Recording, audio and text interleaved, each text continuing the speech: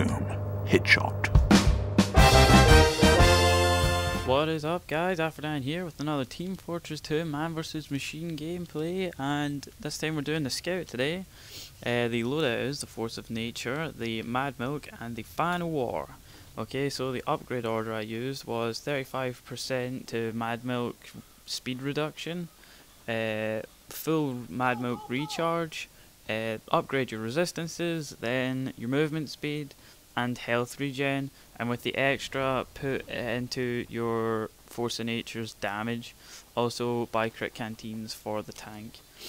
Uh, first off, what you want your main goal on all the other waves apart from the last wave is cash. Leave everything if you if there's a choice between kill a guy and collecting cash, ignore the guy, make sure you get the cash, it's the most important thing.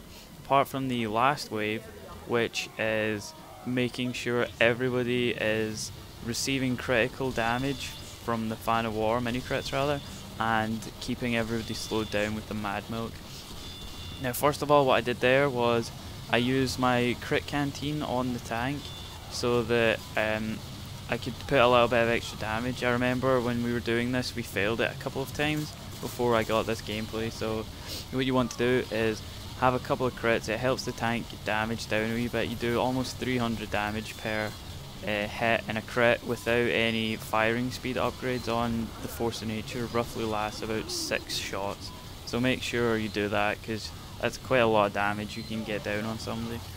Now you see here what I'm doing is mad milking with the first with the uh, upgrades I was telling you about the mad milk has the capability to slow enemies down by 35% which is very very very helpful and it keeps them all it gives your team more of a chance to kill them before they get close to the bomb point obviously. Uh, it also the milk allows you to heal uh, allows people to heal off them off the damage that they cause to the person who's mad milked. I don't know what the percentage is uh, I forgot but if someone's mad milked and you shoot them, as long as you're not overhealed, you will actually heal yourself from it. So it's a very good idea. Mad milk, hev uh, a heavy shooting someone who's mad milk can almost stay alive the entire time he's being shot. Um, also, what I'm doing here, you see a bit of fail aim there. Uh, shooting people is not a priority this, as you see here, I'm not bothering to do anything. I'm waiting to mad milk these uh, people. You want to Fan O'War the heavies, or the giants rather, because it makes them uh, take mini crits if you didn't know, which can half the time or better the time it takes to kill these. So definitely Fan O'War. If you can't, if you don't have the of War, I believe the Sandman can be upgraded to the point where it can do that as well there's an upgrade you can use that causes crits on people, so I uh, mini crits. So you definitely want to do that because it helps your team out so much. Uh, with the Force of Nature, um, as you know, it causes a lot of knockback, which is good for a couple of things. One, you can use it to actually jump up higher. I'm not sure if I've done it in this video or not, or do it, I can't remember. But uh, see on my left now, that little walkway, it's quite it can take a couple of seconds to get to if you don't have the force of nature. What you do is you run towards the edge you want to get to jump uh, you want to look like 45 degrees down not straight down but not like horizontal and just uh, jump then shoot then jump again and you'll actually get slightly higher and you'll be able to make it up there. It's pretty good for uh, things like that what you can also do is actually cancel bomb planting animations with the Force of Nature.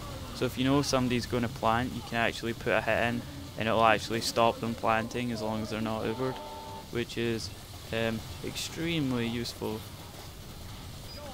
Um, jumping is very useful. Uh, make sure you want speed on your scout so that you can actually collect as much money as possible. Your main goal is to collect money and not anything else really.